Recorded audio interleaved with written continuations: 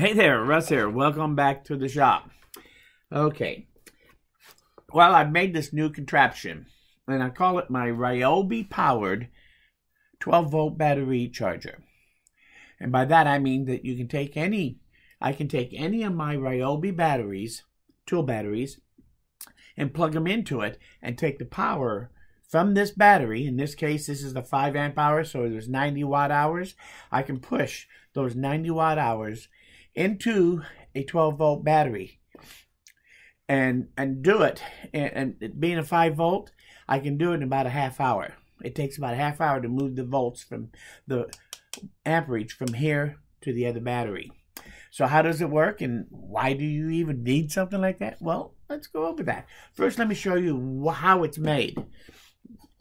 So uh, very simply first thing i have is i have a Ryobi receptacle. So I can plug this into a Ryobi battery of any kind, and the output is the two wires that come out the top. This one in particular I got off AliExpress, and it has a switch on it to turn this thing on and off. So when you plug the battery in, you don't get power coming out unless you turn the switch on. So, and the battery just pops on there and locks on so that now it's, this thing is ready to go. Now I've hooked it up to a cigarette lighter plug-in. And I have a battery right here in front of me that you can't see it, but it's right here. And it has a 12 volt cigarette lighter plug-in. So we're going to plug this into that. And you'll see that there's no, there's nothing going on yet. But if I turn on the 12 volt uh, plug-in outlet on my battery, my this is actually a 100 amp hour lithium phosphate battery it's a power pack that I made a, while back, and I did, I actually did a video on it. But anyway, we're using this to be, that's where I'm going to put the voltage from here into that battery. It could be any kind of battery that's uh, either a 12 or a 24 volt system, and you should be able to take and push the uh, wattage from here into that battery. So let's go ahead and let's do that, and I'll show you how it works. I plugged it in, and I turned it on, and now you can see there is voltage there. That battery has 13.3 volts.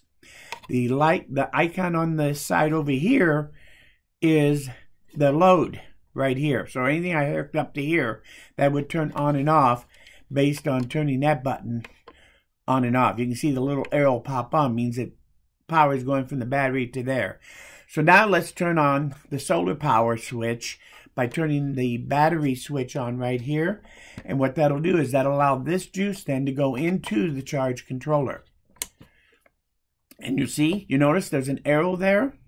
That means that I am actually putting voltage from this battery into my lithium battery down there, my 12 volt. Uh, let's do this. One, two, three, four. And you can see right there, I'm putting in three, whoops, one more. Ah, let me do it again. There, one, two, three, four. Four. And you can see it's putting in 3.8 amps into that battery from this battery. Means that in just under, just over a half hour, I'll have this full thing discharged and all of that juice will have gone into my 100 amp hour battery. Now you'll notice that when I turn it off, it turns off. And it's no longer charging that battery. It's still hooked up. And if I want to run some power from here, I just have to plug it into here and turn that, well, in this case, it's already on. And then I would turn that on to turn that light to turn that on, whether it's a light or whatever it is, and that would be running from the battery. So it's just a simple charge controller. Then that's how it works. So I can plug this into any battery that is a 12 volt or even a 24 volt, one or the other battery, and I can charge from my Ryobi battery and put that amperage into the other battery. So it's real simple to make. This charge controller was the least expensive one I could find out there. It comes with instructions. And this is the box it came in. I paid like $12 for it. So I basically got $12 here and this adapter run me right at $7. So that means I got less than $20 wrapped up in this thing, and I can now take any Ryobi tool battery and push those, push that into another lithium 12 volt or 24 volt battery. Now, depending upon which unit you buy of solar controller, some of them will do other things, and you could actually set the actual voltage. So you could do other things with this in, in when you think about it. But I'm just showing you how to use it by using your tool batteries and move that juice from here into some other battery pack or solar generator that you might need.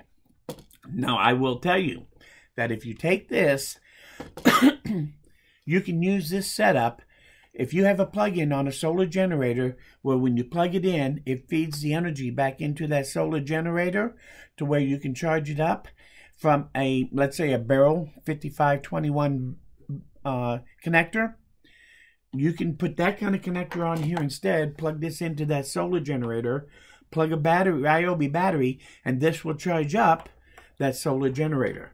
As long as you have pass-through charging on that generator, and not all of them do. Some of the real less expensive ones don't give you that privilege. You can't charge it and discharge it at the same time.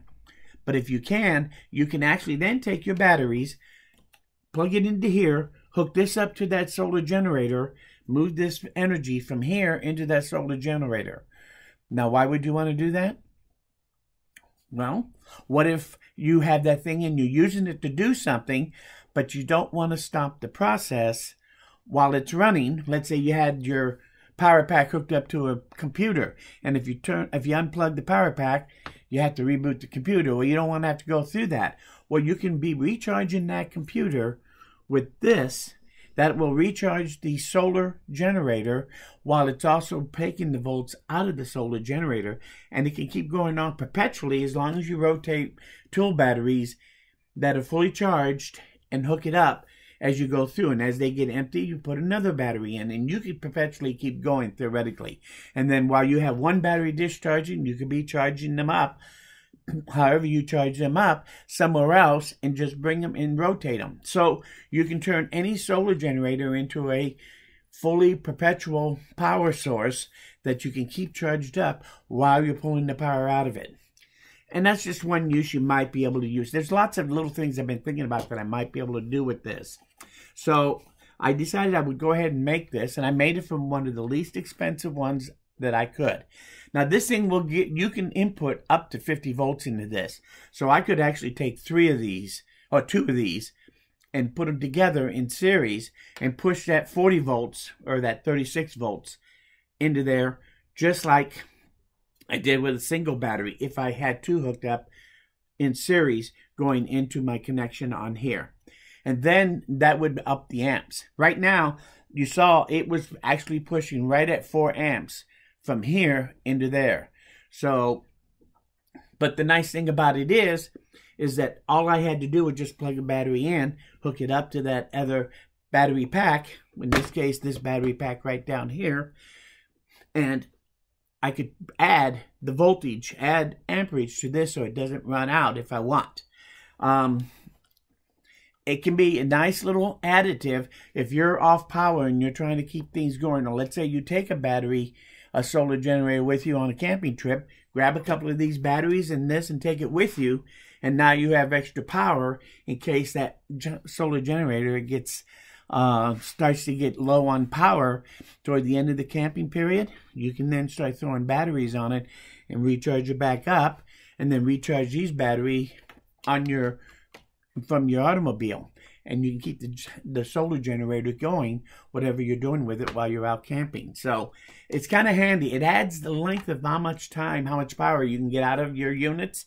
You can add that by adding Ryobi batteries to it for when it's pulling power out.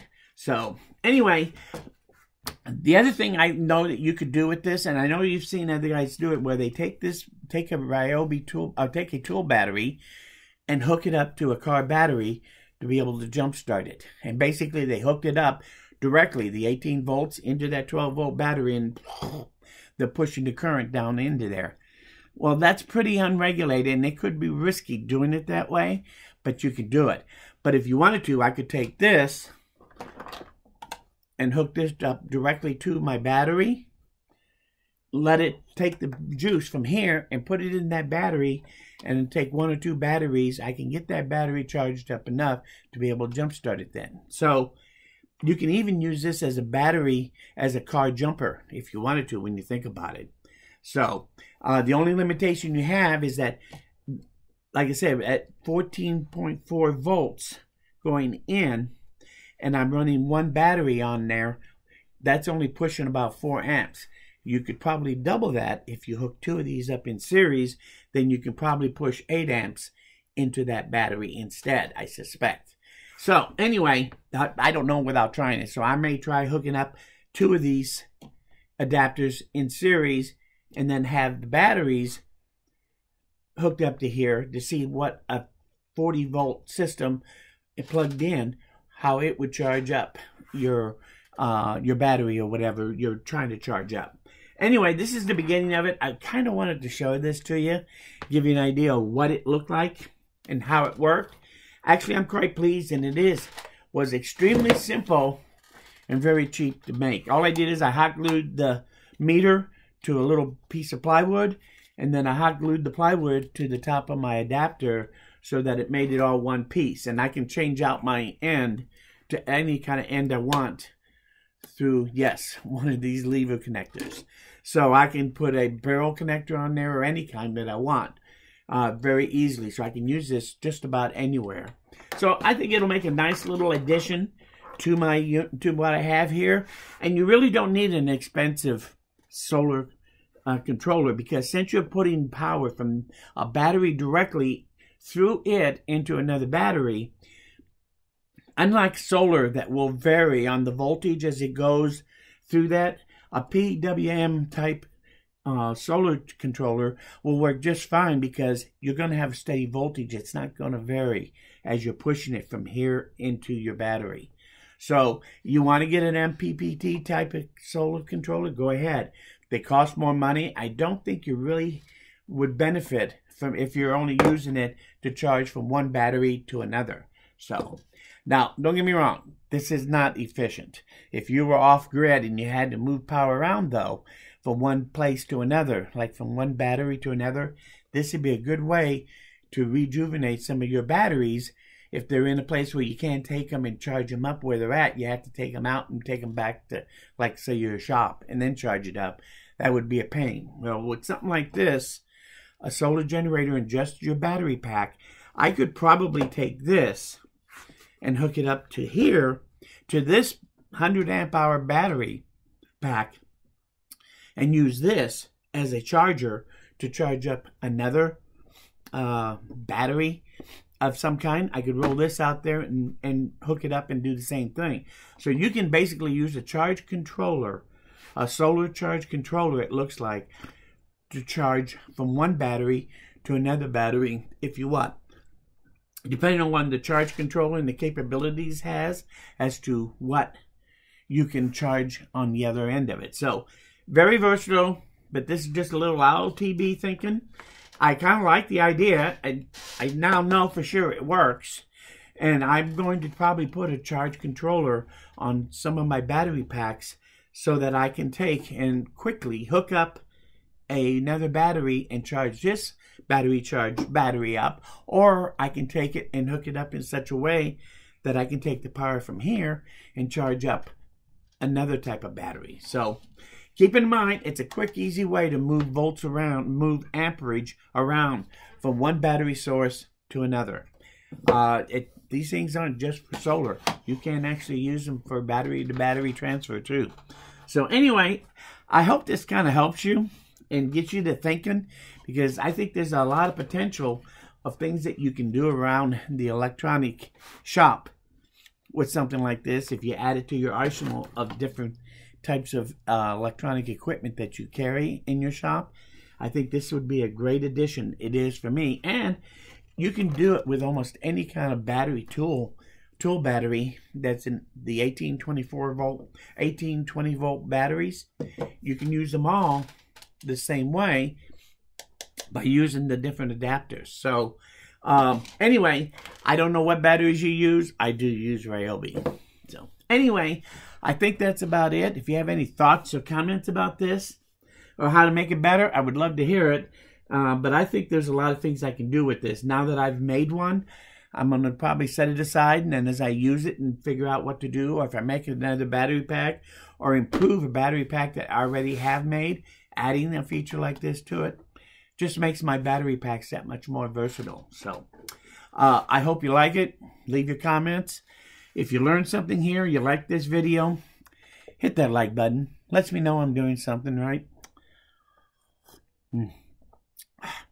Uh, most importantly, though, please come back again because I'm nowhere near done. Thanks, and we'll see you guys again very soon.